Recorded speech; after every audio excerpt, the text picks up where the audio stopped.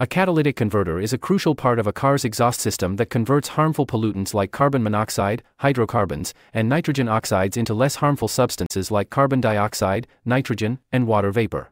Function The primary role of a catalytic converter is to reduce harmful emissions released by a car's engine. It's located in the exhaust system, typically between the engine and the muffler, and is designed to warm up quickly to high temperatures where it functions most effectively. How it works the converter contains precious metals like platinum, palladium, and rhodium, which act as catalysts to speed up chemical reactions that transform harmful exhaust gases into less toxic ones. Types of catalytic converters.